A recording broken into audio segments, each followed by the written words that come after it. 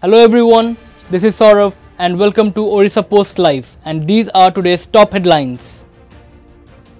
BJD Supremo and Odisha Chief Minister Naveen Patnaik began campaigning Wednesday for the upcoming Lok Sabha and Assembly elections in the state from Hinjili in Ganjam district. Patnaik criticized the opposition parties for opposing developmental work in the state. Development is our identity, however, it is sad to see that opposition parties are politicizing all development activities, Patnaik told a gathering. The Odisha Joint Entrance Examinations for 2024 will be held from May 6 to May 10. All the examinations will be conducted during 6th May to 10th May 2024 through computer based tests, said an official notification issued Wednesday. It added that candidates can download their admit cards April 27 onwards. The regional office of the IMD in Bhubaneswar said Wednesday that there won't be any immediate relief from the ongoing heat wave in Odisha. It said that the heat wave is expected to continue till April 28. Odisha capital Bhubaneswar once more emerged as one of the hottest cities in the state with the mercury soaring to 43.2 degrees Celsius. Valuable documents were gutted when a major fire broke out at the excise office located near Kiriburu Chowk under Barbil police limits in Keonjhar district in the wee hours of Wednesday. After more than 4 hours, firefighters were able to bring the blaze under control. The extent of damage will only be known after a proper investigation takes place, said an excise official. Malkangiri District Police seized rupees 30 lakh in cash Tuesday night from a car which was entering Odisha from Chhattisgarh.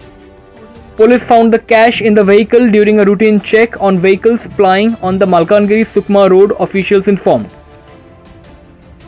A youth identified as Sada Swai set a betel shop on fire at Mahula market under Chandaka police limits late Tuesday night after the shopkeeper asked him to clear rupees 125 debt. The youth was later caught by locals and handed over to police.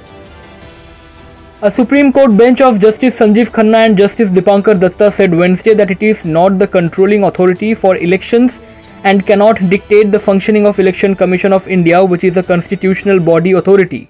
The remarks came during the hearing on petitions seeking thorough cross-verification of votes cast on electronic voting machines with paper slips generated through the VVPAT system.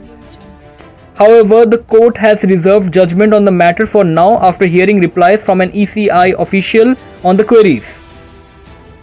Amid mounting opposition pressure, sources said Wednesday that the Election Commission is examining complaints against a speech made by Prime Minister Narendra Modi in Rajasthan in which he suggested that if the Congress came to power, it would redistribute the wealth of people to Muslims. The Congress and the CPIM had separately urged the poll panel to scrutinize Modi's speech Sunday. Delhi Cabinet Minister Saurabh Bharadwaj informed Wednesday that he had a 30 minute long meeting with Chief Minister Arvind Kejriwal in Tihar prison. He added that Kejriwal has asked people not to worry about him as he is strong and fine.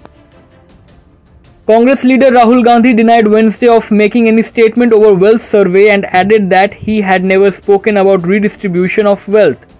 All I said was let's find out how much injustice has been done, Rahul said at a party event in New Delhi. He blamed Prime Minister Narendra Modi for blowing the comment out of proportion.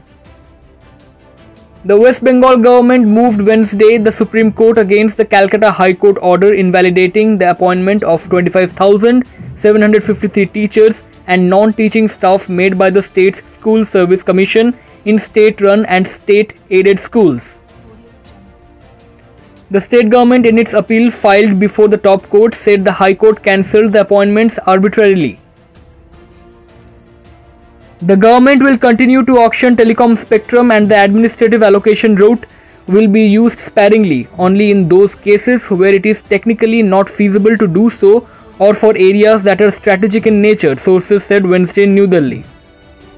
The Defense Research and Development Organization has successfully developed the lightest bulletproof jacket in the country for protection against the highest threat level, the Defense Ministry said in a statement in New Delhi. The jacket is based on a new design approach where novel material along with new processes has been used, it added. That's all for today's top headlines. Stay tuned to Orissa Post Live.